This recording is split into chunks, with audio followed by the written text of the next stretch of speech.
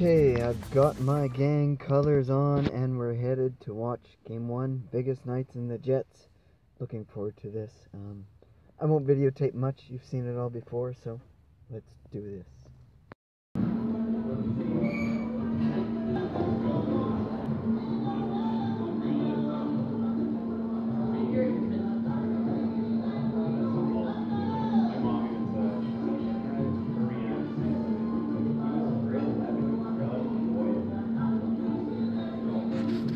Hell yeah, hell yeah, hell yeah.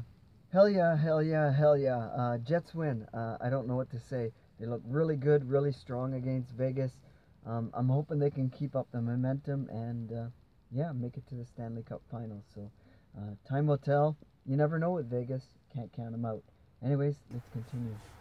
Hey, happy Sunday, May 13th. It is Mother's Day. Also, there's a couple other things today. It is the Van Dwellers meetup today. Um, still don't know how I feel about doing that, but we'll go grab a coffee uh, before and uh, do some uploading. The other thing uh, is, it's my birthday. How about that? Uh, yes, um, my birthday alone doesn't mean much to me. It's just another day. But you know what? The number itself does uh, hit home with me. I was born Friday, May 13th, and Friday the 13th to me is a lucky day, lucky number. And I carried that over onto my race car, or race cars, and uh, I've been waiting a while to show you a clip of me racing back at Winnipeg Speedway. It's a half mile dirt oval, and today's the day. So finally, um, as you'll see, Cars 13. Um, usually went with a black ball. Some people go with a 13 black ball, but I went with the design of 13 white ball. Um, this car that I'm racing is actually an old 78 Monte Carlo. Um, some of the front end got bashed in, so it got changed. The nose got changed to a uh, 79 Cutlass, I think it was. Yeah, one of those styles. So yeah, this is back a little while ago. I raced from second time racing was 2000 or 2000 to 2004 ish. I, I went for a four year period uh, back then, and uh, yeah, very expensive. I had a lot of fun, but you know what? Uh, I didn't have the money to run with the fast guys. Um, yeah, I nickel and dimed, used tires, used this, used that. But what I did drive with, I could did the best possible. Um, the race you'll see is a street stock race. I preferred the um, enduro races. Street stocks were 15 laps, 20 laps. They're over in a flash. They they just it's a blur. You don't really get much racing time. However, the enduros, um, we're allowed cams and stuff. So the, the enduros were actually a fairly fast car because you could do some modifications and suspension mods.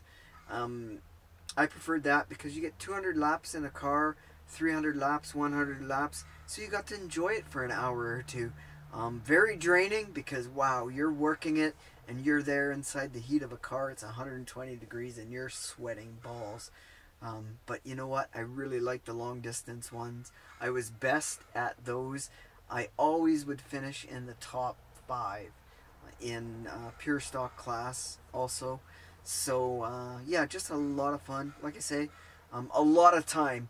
It took all my summers, all my springs, all my falls. Um, nothing else existed other than racing.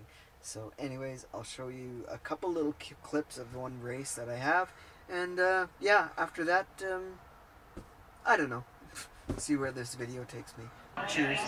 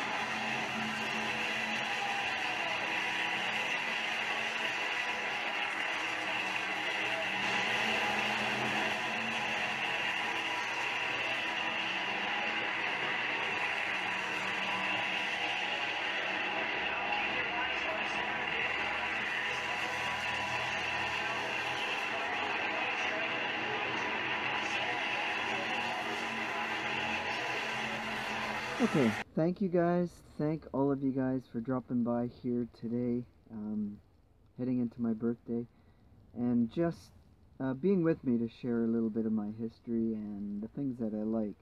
So I really appreciate it. Uh, I know my videos ain't the most exciting, but um, yeah, just just glad you guys can all share it, and uh, hopefully we got some band stuff coming up. Yeah, I think I think we will have.